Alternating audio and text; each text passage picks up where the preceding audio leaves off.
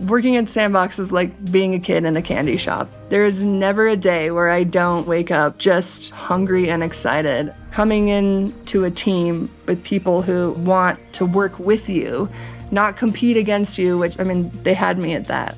Definitely, as far back as I can remember, I've been interested in science. I specifically remember just always being really curious, definitely testing the boundaries, but always wanting to go beyond just the surface level answer that parents would normally give us to questions. Experimentation for me has been vitally important. I initially started in psychology and wanting to understand why people do the things they do. So I jumped in freshman year into a research lab that was focused on understanding juvenile delinquents and specifically behavior around risk taking and what motivated them to do it in hopes that we could help find ways to build interventions to help prevent them from doing it in the future.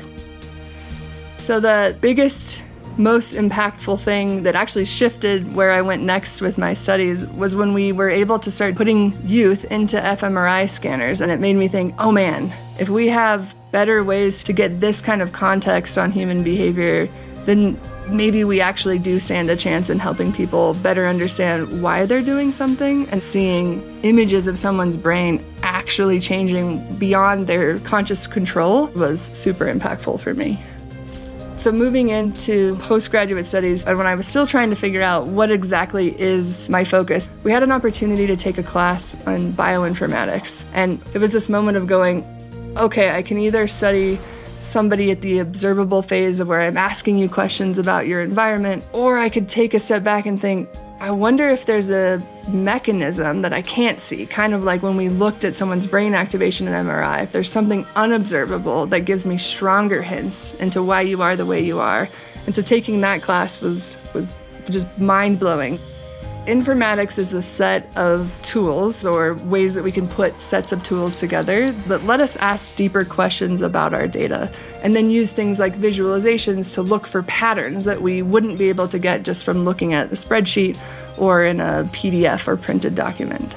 Before becoming an academic, I actually went to college on a D1 scholarship for cross country skiing. The Olympics were what I had my eye on. And during my second year of college competitions, I was unable to compete, and the doctor didn't really know why. So I made the decision to discontinue that part of my focus and then shifted all of that energy into research. And I was very fortunate to be aligned with a professor who was an MD PhD. And so he gave me the opportunity to not only do a master's, but then also enabled me to do a PhD where I could ask those questions now connecting biology in a way through different AI applications. And so that's in a nutshell how I got exactly to this place.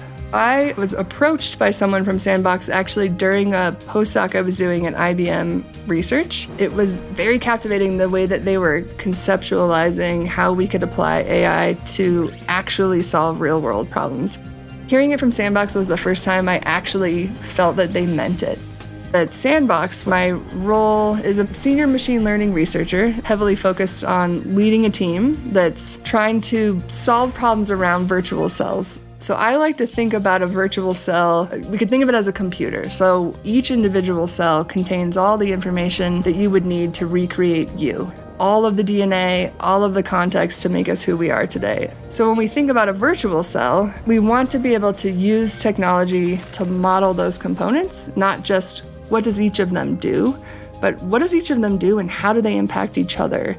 And when we say, how does it change that, we're talking about gene expression. So, for example, if we introduce a drug to a cell, we know the impact of that drug on the cell by looking at how different levels of your genes change within the cell.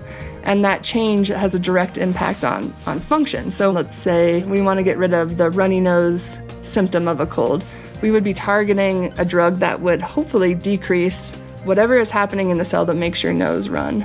LQMs are our way of trying to take the same kind of idea, but that are grounded in physics. And what's beautiful about that is that when you model physics, you also have the ability to generate new physical data that we can then learn from in different ways. So we will be building an LQM that helps us model what happens in a virtual cell. So virtual cells will exponentially just increase the rate at which we can run experiments on different kinds of tissues or cell types that you cannot get a hold of normally. So think about things like fetal cell tissue or brain tissue, things that certainly most people are not going to offer you access to. At the same rate, we'd love to be able to use these cells to help us avoid animal testing. And that, that also has an effect of speeding up the research process as well. If you don't have to go through multiple stages of different organism testing outside of humans, then you drastically reduce the overall time to bring a drug to market.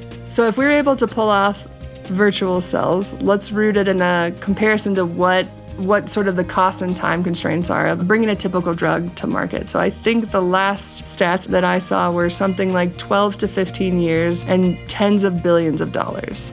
I would think if we can do what we're planning to do with virtual cells, we could easily cut that time by tenfold and definitely cut the cost such that we could also do this with multiple drugs at the same time.